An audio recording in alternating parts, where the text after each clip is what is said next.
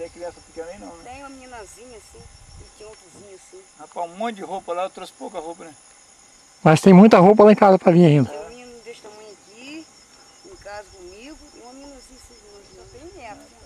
Eu- E água? A senhora tem água aí? Nem, eu bebo água isso aí do rio. E a senhora não tem medo não? Bebendo água do rio. É brincadeira, hein, Armando? ó. Hein, Armando? Bebendo água do rio. Vem água do rio, água aqui, ó. Eu tô indo para o costume até que essa água Não aqui. tem jeito, Gama. o quê? Os postos estão tudo entupidos, o rio da altura que tá. É bom.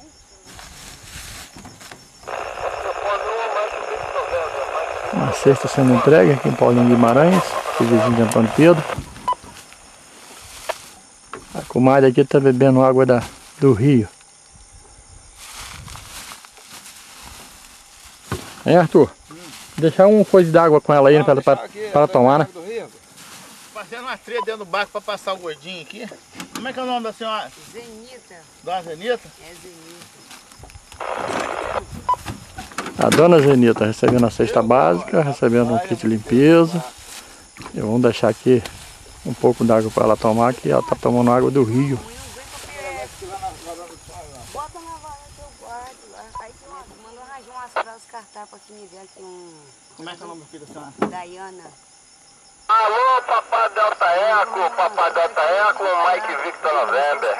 Gama? Oi. Ela tem uma, uma casa da filha dela que é mais pra, pra dentro um cadinho ali que tá do morro. Sei. Aí deixar umas fraldas também. Amanhã, né? Tá bom, eu vou tomar nota aqui.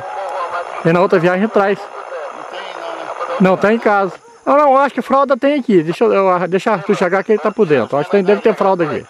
Essa bagunça aí, Arthur que entende. Ele É, já é. for. Não, é, eu, quer dizer, eu, eu, sou, eu sou piloto e ele vai fazendo entrega e ajuda a carregar. Eu fui lá levar a cesta básica da, da comadre ali, que ela não tem força, coitada.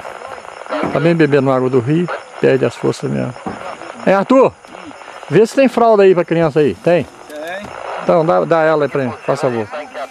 Mas estamos aqui com a Dona Zenita e a Zenita. Daniele. Com Daniele. cheirinho de fogão de lenha, Beleza. No fogo.